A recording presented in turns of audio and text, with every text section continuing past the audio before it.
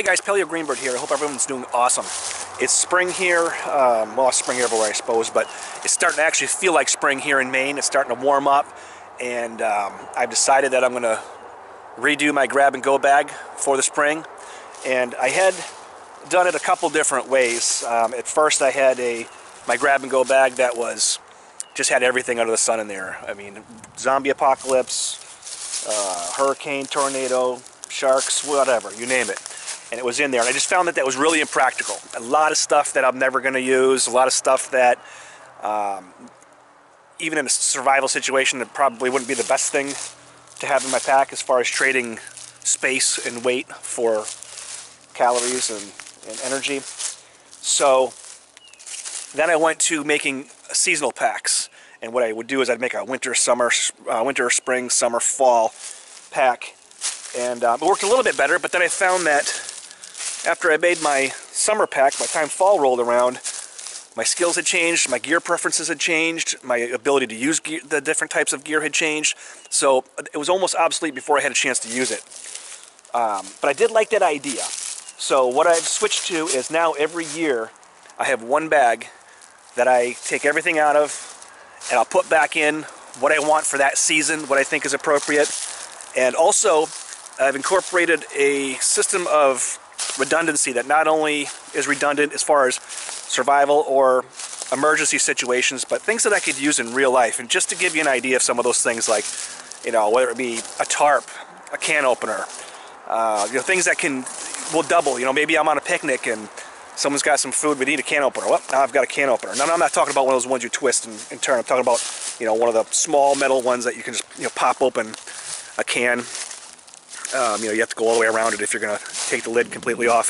Things like that. But I'll go, I'll, I'll have a video about that uh, once I get my pack done. I'm going to share it. But today I wanted to share what I think is one of the most underrated pieces of, of gear and equipment that you can have in your pack. And I think everybody should have it to some extent.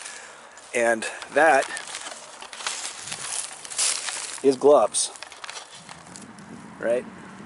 So I've got a couple different kinds of, of, gloves here, and you don't need to spend a fortune. Let me tell you why I think gloves are so important.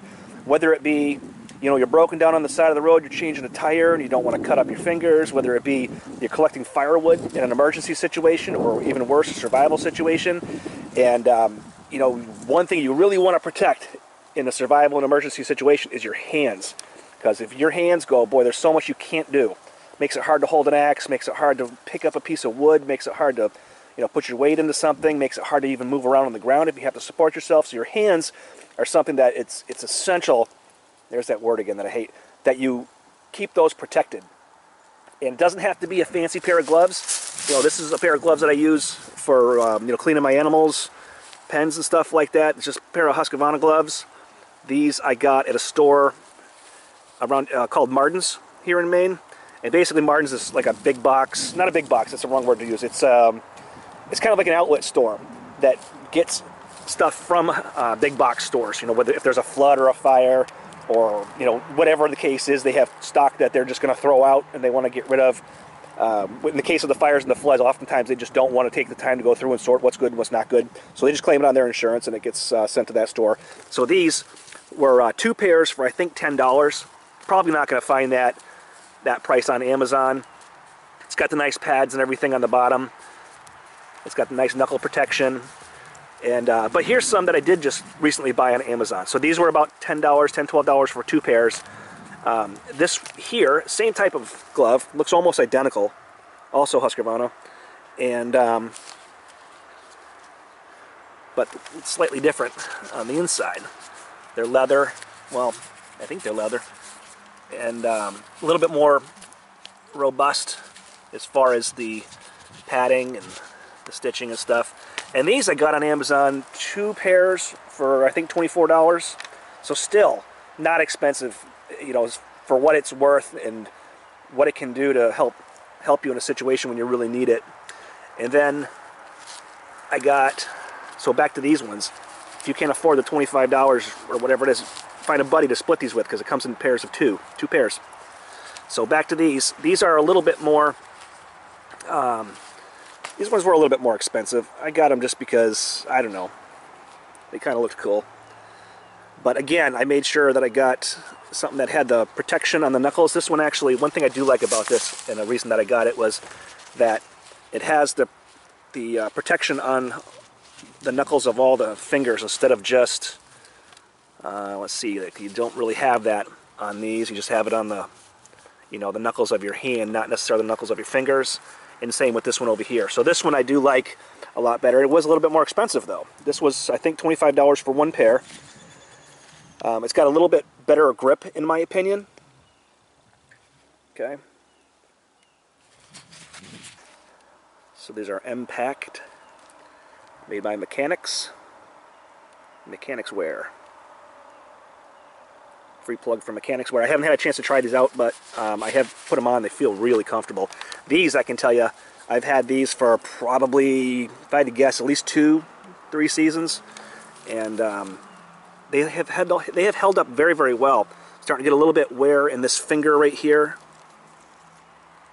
and um, the, I have another pair of gloves where it actually uh, it wore pretty much through the finger. I mean, you you can see your finger on the other side. So it was time for me to get new gloves anyway. So that kind of inspired me to see what was out there, and uh, I'm very, very happy. Everybody in my family has a pair of these to put in their pack, and I've got these. And I'll probably just, I'll probably try and uh, put these through the ringer and do a do a gear review on those. So anyway, I, I hope everybody's doing awesome. Stay safe. Um, stay happy. Happy Easter, everybody. If you celebrate it, if you don't, then just have a great Sunday anyway. All right, later, guys.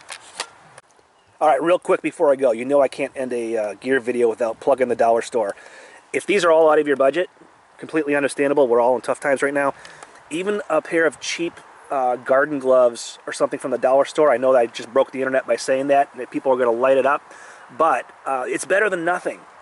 And don't let anybody ever tell you that you're better off having nothing than something, because that's just not true. Um, so if you can't afford any of these, even a simple pair of gardening gloves, just something to keep the friction off of your fingers and off of your palms and give you a little bit of protection. Um, when it's wet and rainy, you get a little extra grip. So tell me what you think. Tell me if you think these are good or if you have a better set of gloves that you use in your pack. And um, everybody take care. Bye.